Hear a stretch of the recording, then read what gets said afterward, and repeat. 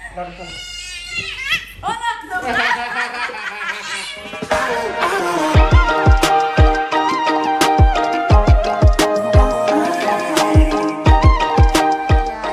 back to my channel YouTube Glow with the Squad. By the way, di video kali ini tuh Mami lagi kedatangan seorang dokter hewan. Eh, beliau ini yang biasa nanganin anabul-anabul Mami kalau anabul Mami tuh sakit atau mau steril gitu.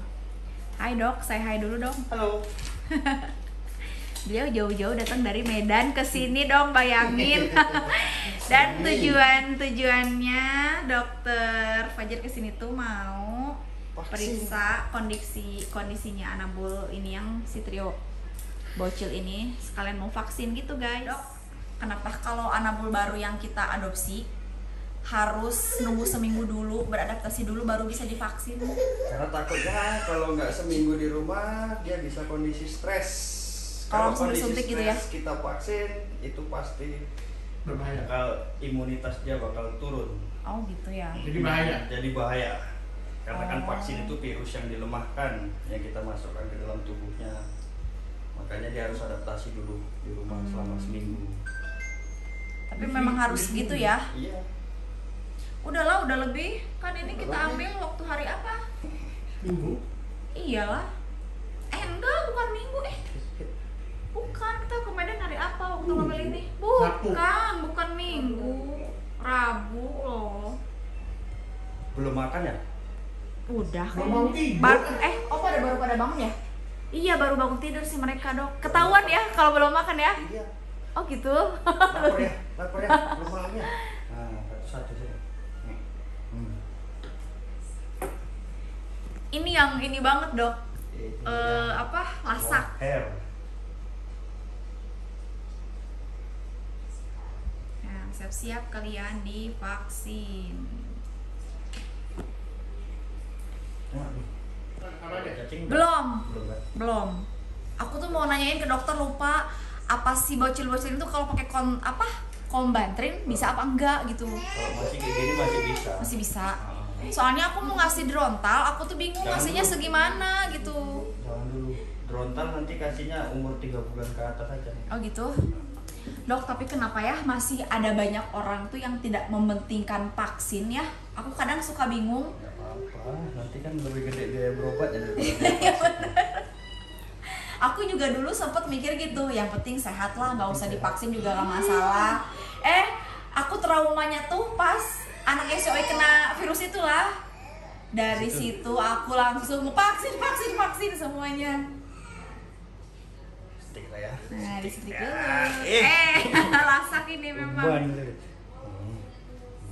Pengen punya kucing Scottish Fold kata aku tuh biar aku punya kucing satu aja yang kalem gitu ya. Ini nggak kalem. Enggak, enggak kalem ternyata ini. Sama aja. Ya. Menjerit ya.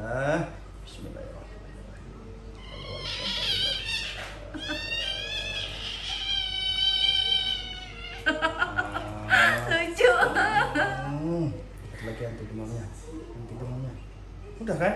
Udah. Udah. Belum, lihat lagi. Hmm, Udah, gitu aja. Cengeng emang ini sama kayak si Oi.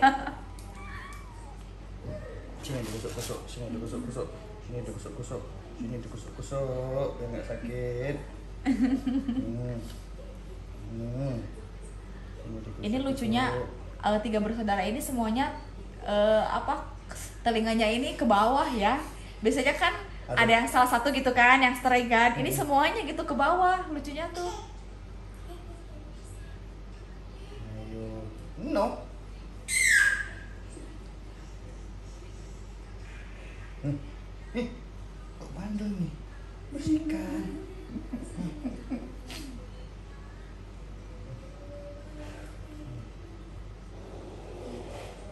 Gemes banget ini tiga-tiga Iya. ya ampun. Ya pulang yuk, kan aja yuk. Medan aja yuk. Ya. ya, satu aja nih yuk.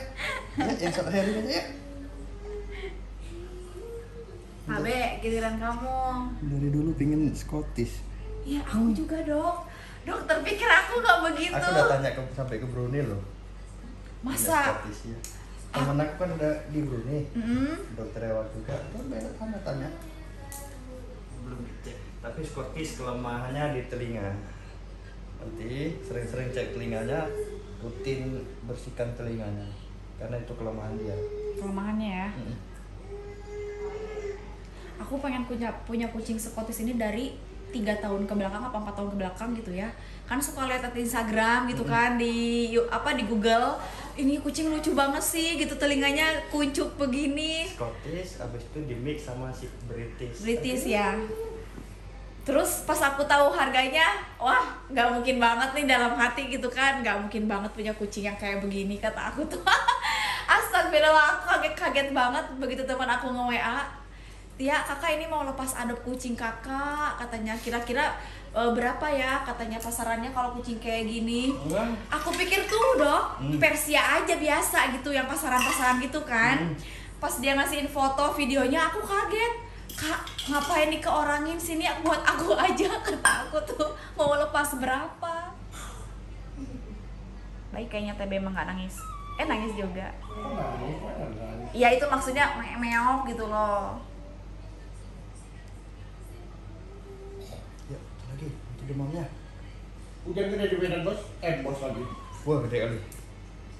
Kan? Sangat gede. Aku mau ke Amplas, Hmm, macet. mau Marendal. Eh apa? Macet. Amplas tuh Marendal atau Marendal. Marendal? Kelas baru Marendal. Iya, Marendal lah Marendal. tapi nggak secengeng yang putih itu sih ini baik Makanya ini bandel. Kan nampak dari mukanya. oh iya Hmm. Satu Makanya- lagi mana yang panjang ya belum Ini sebelah. oh ada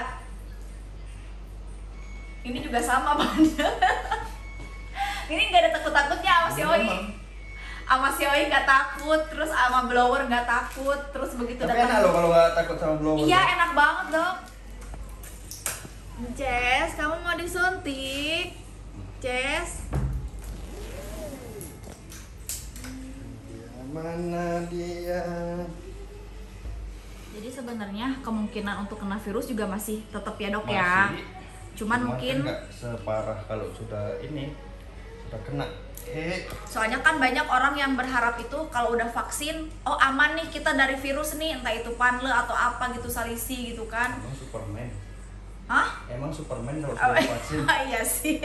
Cuman mungkin eh, apa sih Dia- harapan untuk sembuh mungkin ya? bukan harapan untuk sembuh Jadi- untuk bisa kenanya itu tipis sekitar Oh, 60% atau 50% lah 50-50 tapi Oh, kalau nggak gitu. divaksin itu pasti kena 99% Hmm, terus banyak kali nih vaksin pertama tuh nih F3 ya. F3 tidak saya F3 Berarti ini bulan depan F4-nya ya? M4 nanti di bulan depannya lagi baru M4 pengulangan sama rabies tahunan Hmm.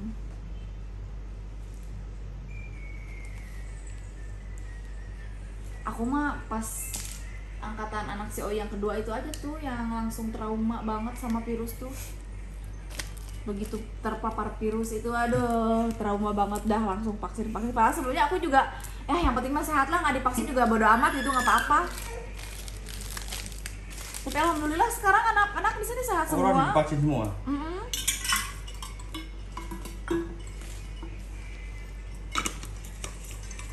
Makanan juga ngaruh ya dok ya buat kesehatan ya, ngaruh banget ya. Terus kamu tuh lagi ngapain? Itu dia ke air es. Tuh.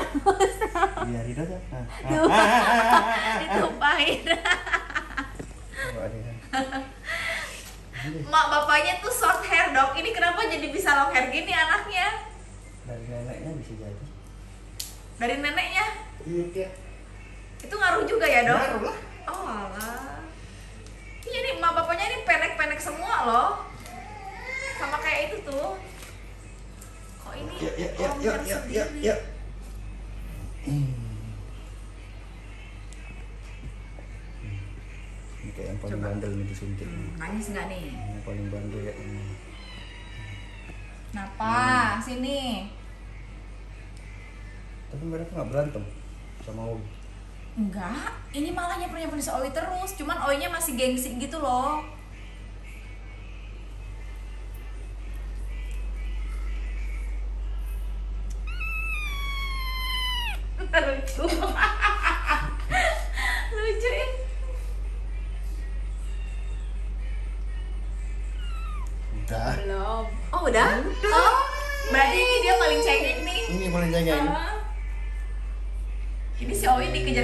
Sama dia nih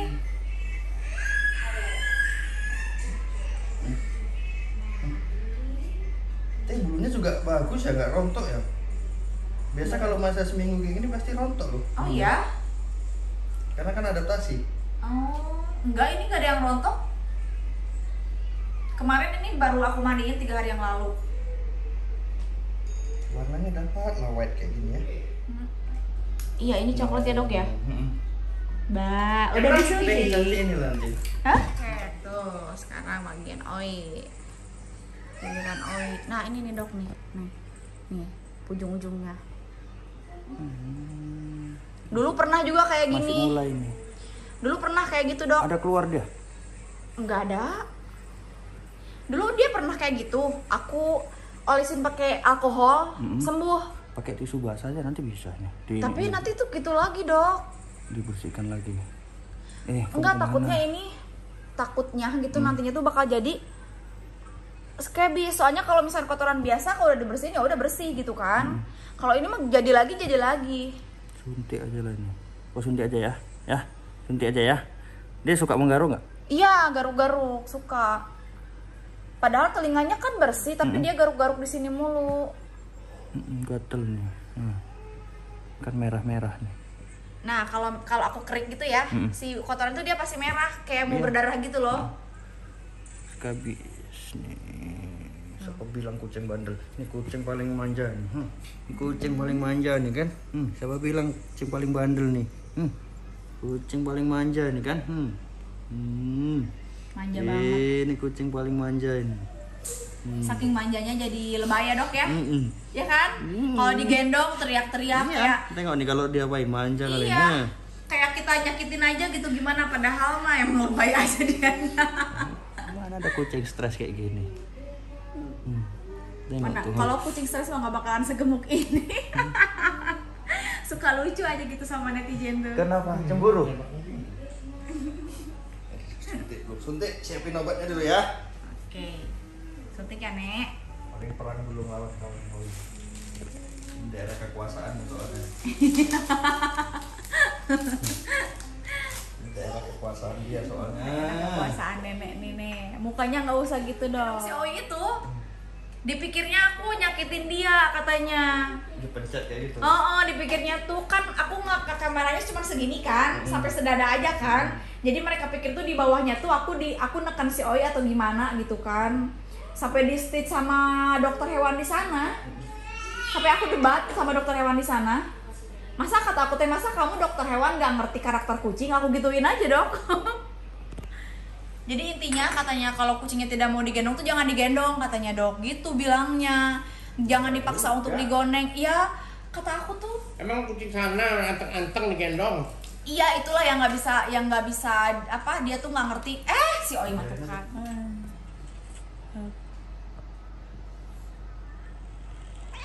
tuh kan nggak percaya iya tuh kan kan tuh dia mah ih, dia tuh liatin jadi dirinya obatnya pada tumpah saja Kurang kuat tadi pegangnya ya. Awas kau. Kurang kuat pegangnya. Langsung. oh tuh Tetap dapat. diam ayo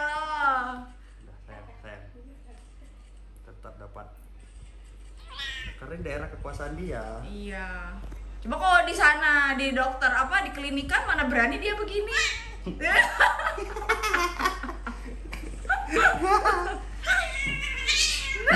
Lu garain makin. Makin lu garain. Nah, nah. Sikit lagi lo masuk, sikit lagi. Sikit lagi yuk. Yuk. Muka kalau nanti Oi nggak mau diem gitu. Terus si bocil-bocil pada ngeliatin. Ayo lah Nek.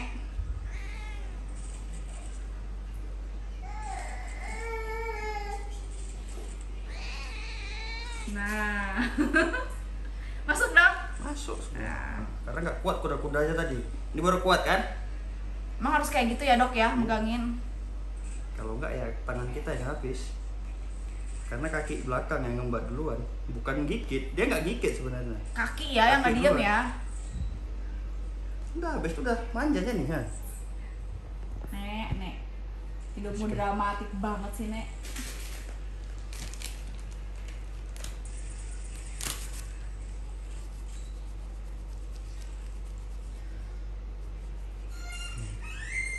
Kok penendam nggak dendam dia? Cuma ini daerah kekuasaan dia pastinya lebih ini, lebih garang dari biasanya. Hmm, berdarah, Karena kan dilawan Udah dia tadi. mau diam dianya tuh. Biasanya suka bengkak nggak kalau dia gitu dok? Hmm? Suka Enggak. bengkak nggak? Dede kenapa ih? Kalau kucing stres kita giniin, wah habis duluan tangan kita dibuatnya. Oh ya? Ya aku sering banget loh dok dapat komentar dari orang-orang yang sotoy gitu Selalu bilangin itu kucingnya stres katanya Dimainin main apa dibercandain kayak gitu kayak gitu Padahal si O ini tipikal yang kucing tuh dia Jadi dia emang gak suka dibercandain tapi dia menikmati dok Ngerti gak sih dok maksudnya? Ngerti? Dia Tapi- kalau kita nanti diam aja dia bakal ngejar kita terus. Iya jadi kalau aku nih kalau misalkan dia lagi diem gini ya Terus aku gini-gini pakai kaki nih Hmm, pasti dimainin. Dia nggak suka gitu kayak nengok tapi dia kayak sengaja gitu loh kayak mancing-mancing kita buat diusilin gitu loh dok?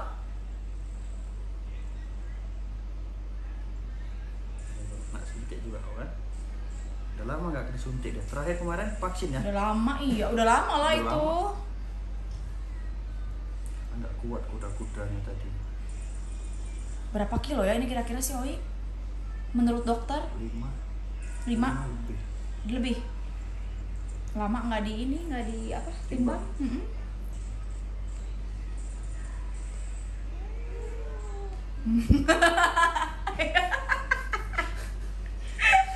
Ya begitulah nenek japluk guys. Tiga tiga kau di sini. Hmm? heboh banget nenek Mau disuntik lagi? itu bukunya ya dok? Oke udah kelar divaksinnya kan dok? Udah, sudah Oke, selesai. terima kasih banyak, jumpa dokter. Di bulan depan. oke. Eh mama habis suntik ngapain yang di sini? Mukanya biasa aja dong Ya, dok mau